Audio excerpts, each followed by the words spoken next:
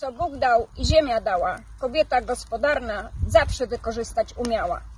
Koło Gospodyń Wiejskich w Będziechowie przystępuje do konkursu kulinarnego Bitwa Regionów. Przygotowałyśmy schab z kością nadziewany dziczyzną, do tego sos borowikowy, zasmażana kapusta i szagówki.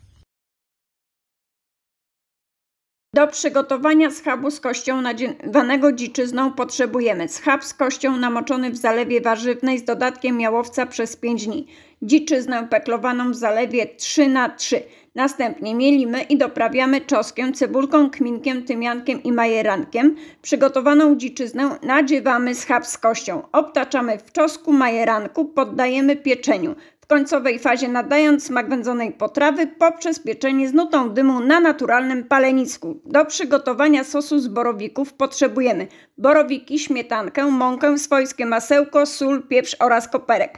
Borowiki gotujemy, dodajemy podsmażoną cebulkę z dodatkiem mąki, soli i pieprzu, doprawiamy śmietanką oraz koperkiem. Do przygotowania zasmażonej kapusty potrzebujemy kapustę kiszoną, boczek wędzony, liść laurowy, ziele angielskie, kminek, sól, pieprz oraz cebulkę.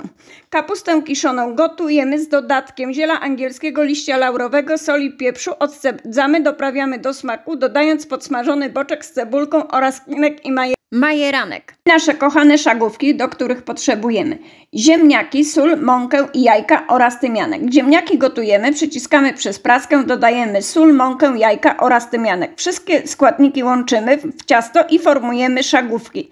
Następnie gotujemy do momentu wypłynięcia. Wyciągamy, układamy na półmisku i dekorujemy. Koło Gospodyń Wiejskich w Będziechowie życzy smacznego oraz zaprasza wszystkich w nasze kochane rejony.